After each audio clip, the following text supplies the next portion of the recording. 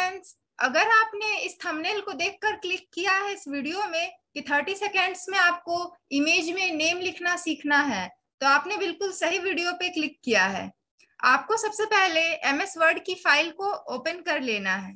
Then आपको insert tab में जाना है और फिर पिक्चर में जाकर आपको कोई भी इमेज जिसपे आपको नाम लिखना है, वो सेलेक्ट कर लेना है और फिर इसे इंसर्ट करवा देना है।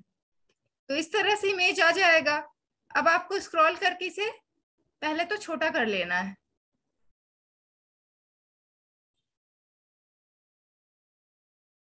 कॉर्नर से पकड़कर आप इसे ड्रैग करेंगे तो देखिए ये छोटा होते जा रहा है। तो ये मैंने यहाँ पर इसे पासपोर्ट साइज़ का बना दिया है। अगर आपको पासपोर्ट साइज़ फ़ोटो बहुत सारे बनाने हैं तो इसका भी मैंने आपको लिंक डिस्क्रिप्शन में प्रोवाइड कर दिया है। आप चाहे तो उस वीडियो को भी देख सकते हैं।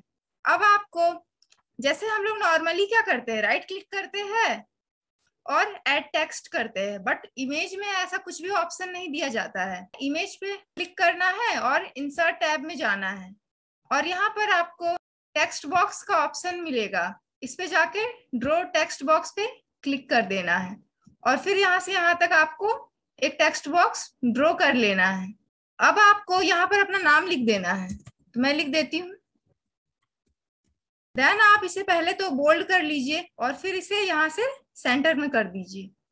अब अगर आप चाहते हैं कि यहाँ पे ये जो व्हाइट वाला है, ये ना दिखे, ये बॉक्स तो इस पे आपको क्लिक करना है।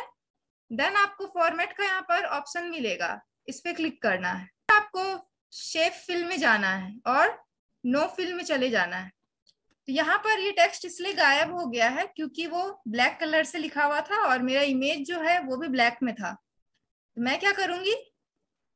इसे सेलेक्ट कर लूँगी और पहले तो टेक्स्ट कलर को मैं चेंज कर देती हूँ। मैं इसे व्हाइट कर देती हूँ। तो आ गया है टेक्स्ट अब अगर आप चाहते हैं ये जो यहाँ पर आउटलाइन दिख रहा है, ये भी नहीं शो करे।